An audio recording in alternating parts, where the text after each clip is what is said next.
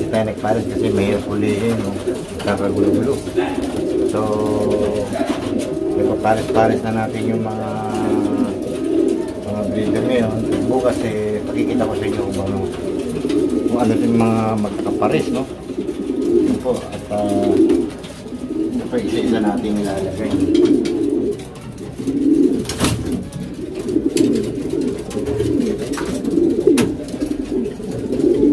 Kita nyo kalapatid kung gaano kasapit yung mga breeder natin. Apat na araw lang po at uh, ito po ay mangingitlog na.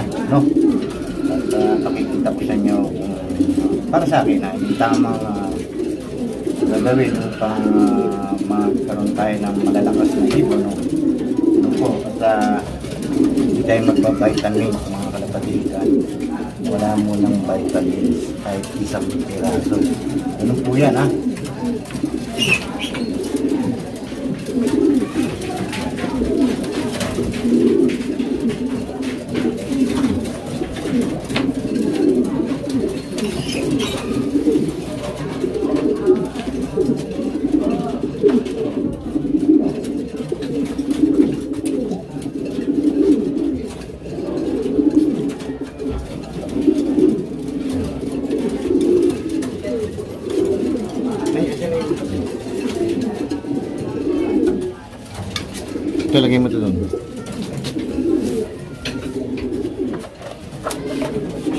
Saan? Sa baba taas.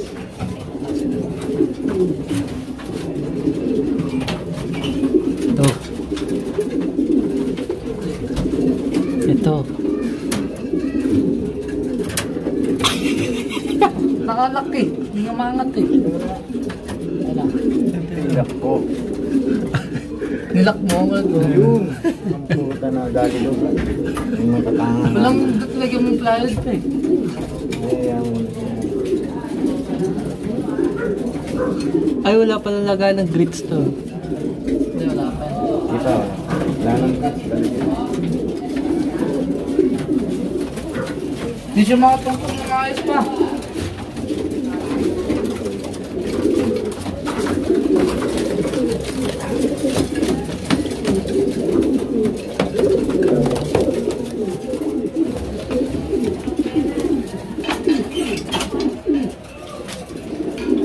Black.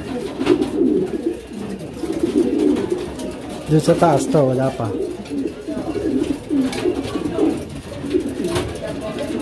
Dapat ko dito mo pinares mo. Ito yung nandot yun mo pinares oh. Ito ni Alicia eh. Ito, nandot pinares mo ka parehas. Eh, wala nang partner Ito, si... meron pa dito. Isa. Ito, dito na nagyan ang natin lalagay. Black to eh, black. Ah, pwede yan, black yan. Ayan, ito na lang yan. Tama yan. Yan, partner yan. Tama yan. Magkamukha, para silang malaki. Sa taas to. Sino tong ano na to ba? Ngayon ko lang nakita yan. Nen, ano, galing yan. Participate sa ano yan. Ito, magaling anak nito eh. Patang ano, nalaglag mo. Ang nanay niya si ano eh. Si... Bachi. Anak, anak, anak, Nanay niya yan, si Bachi. Anak, anak niya si Bachi. Oo. Mo, mukha ni Ito, hindi nagpapansinan. Hindi, pangit, hindi sila mga pagbarak dito pa sa ito. Kaya may ano ka tabla. Hindi, pambara. May ilaw. Ito nilalagay mo rito, di nagpapare.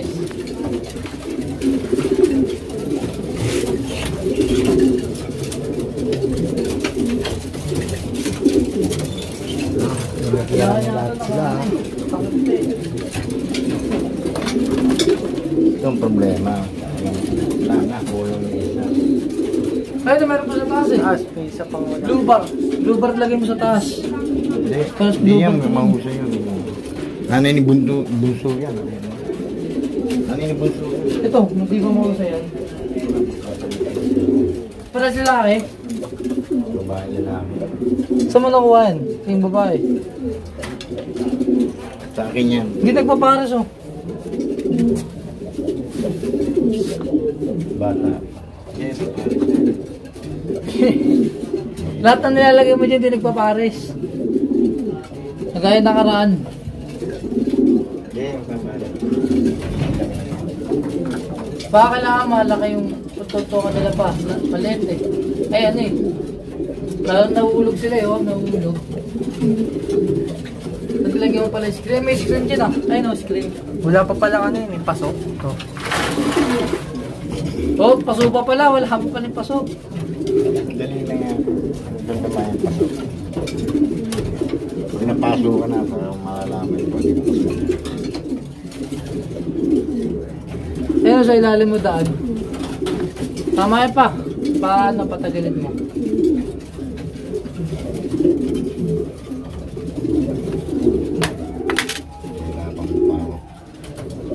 Yung kit mo.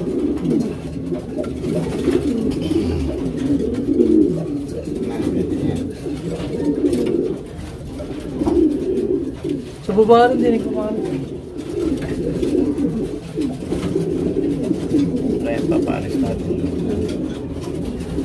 Wala pa pa. Paano dito? Ito, gumigera na. Gumigera na lahat sa lahat ng kwarto. Ayun, gigera na sila. Yan po, nagabulan.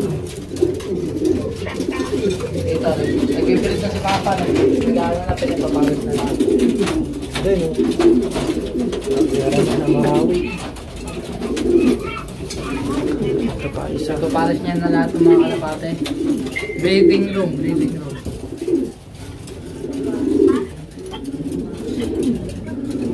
Isa pa tayong contender dito na walang partner. Milky Brown pala ito eh. Ito dito mo na pinaka si Pilay eh. Si Pilay, nandiyan mo na pinaka. Wala ka pala sa freezer.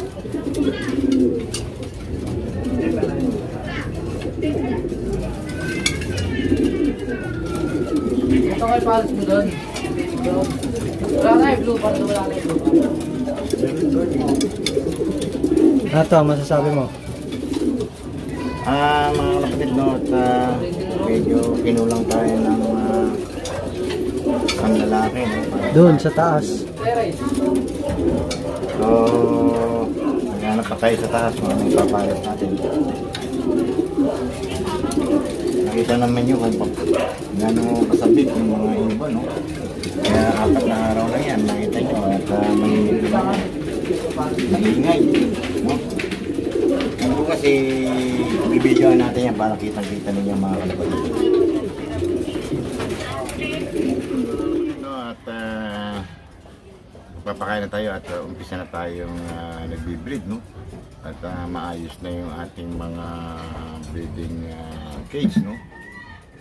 Kaya mga kapatid, ay, uh, kagabi ay binaba ko na yung mga, mga breeder dahil nga mahirap hulihin kasi sa umaga, no? Kaya, kaya sa gabi ako nanguhuli.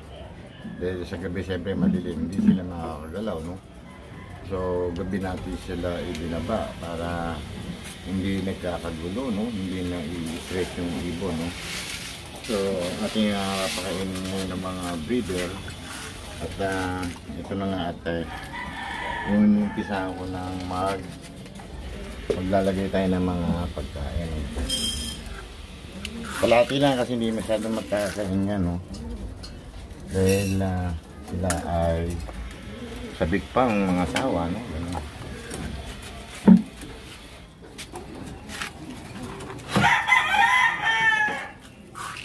Yung mga grits mo. So yung mga grease natin, mga kalapatid no, at maayos na maayos na. At ah, nilagay ko na yung mga mga pangangailangan nila sa grease, no? Kaso nakalimutan kong lagyan itong isa. Sa isa ko lang.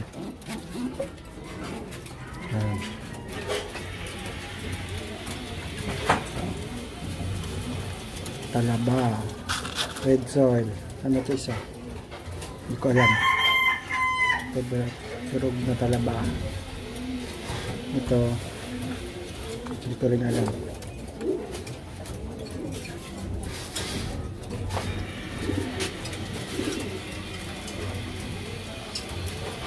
Yung po nilagay ko na yan ay garden soil, no? Hmm.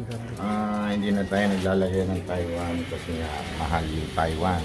Samantalang itong garden soil ay libre, no? Yan Ano po. ano ba yan to? Ito po ay isang oyster, no? Ito naman yung redstone. Ginawa ko lang din yung redstone. Yung oyster ginawa ko na. Ito naman po yung ah, ah, yung durog na oyster, no? Yung sinala natin pino. Eh, hindi naman natin pwede tapon yan. Kinakain din nila yan at sayang na sayang din po, no? Yung ating itatapon, no? Ito naman po ay pecotrine, no? At ito naman isa ay sinatitute natin yung Taiwan soil dapat no nilagyan lang natin ng garden soil yun po um, gusto, nila lang yung ah, garden soil kaysa Taiwan soil napansin ko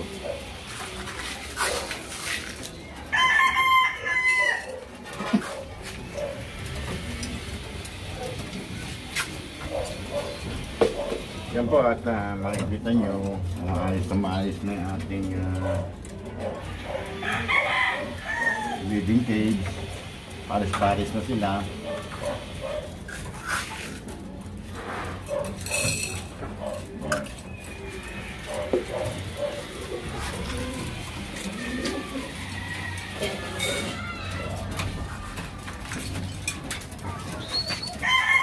Yun po ay pares na pares na. No? Kalakalati lang po, no? kasi hindi naman sila masyadong sa ganyan nag-aasawahan ay hindi sila masyadong nagkakain, no?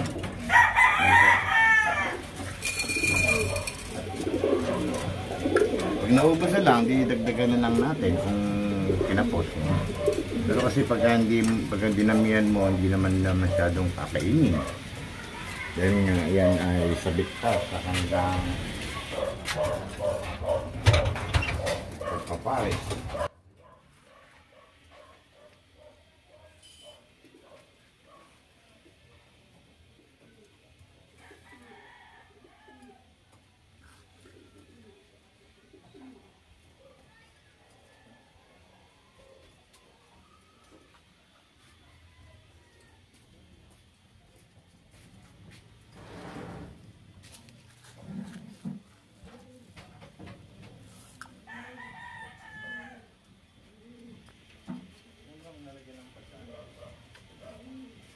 Nilagay ko na din yung dalawang huli. Ay, wala pa pala dito. Sa ilalim. Ayun wala.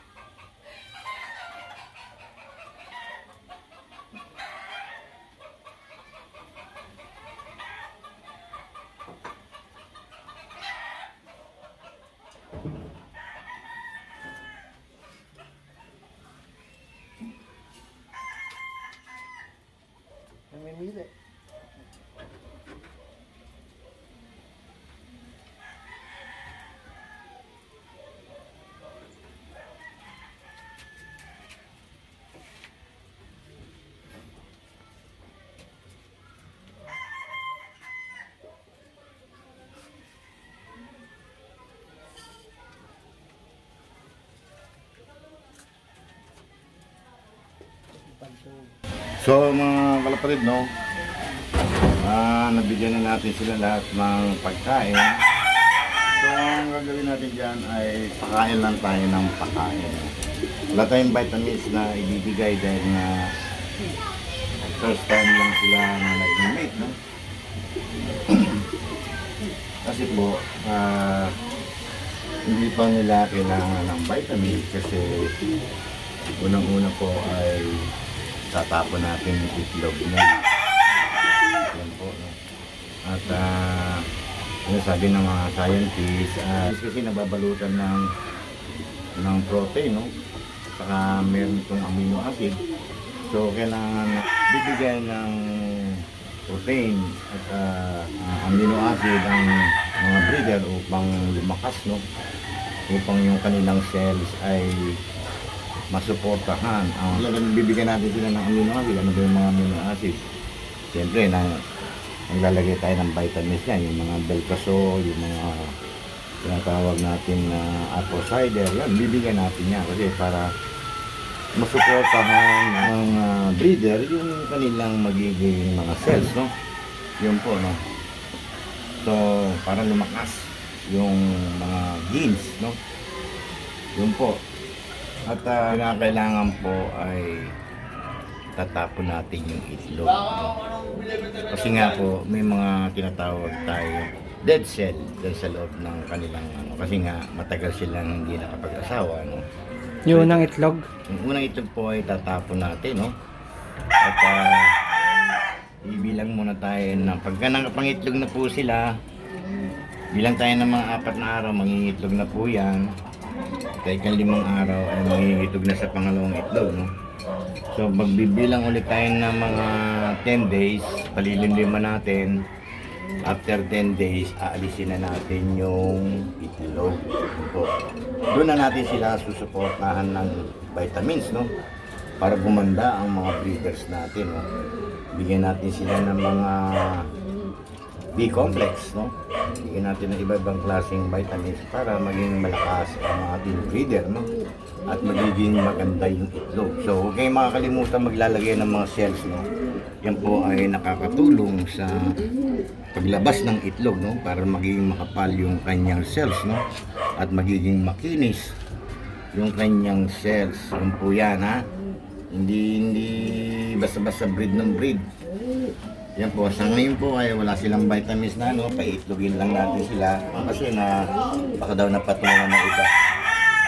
Eh, Siyempre, eh, okay din yun kung, kung ayaw mo, eh, kung maganda naman yung pumatong, di ba? Pero ang talagang totoo doon ay iniwasan natin na yung ah, dead cells, no? Kasi minsan nabubuo yun. Pala pag ah, kahit may babae at lalaki, yung pala ay walang similya, no? O kaya naman eh nabubulok. O kaya mga kalapatid, no, kung may mga comment kayo, no, ah, tanong lang po nyo sa baba, no? Kung meron kayong mga gustong malaman sa pagbibreed ay huwag kayong mahiyang magtanong at uh, aking sasagutin niya, no?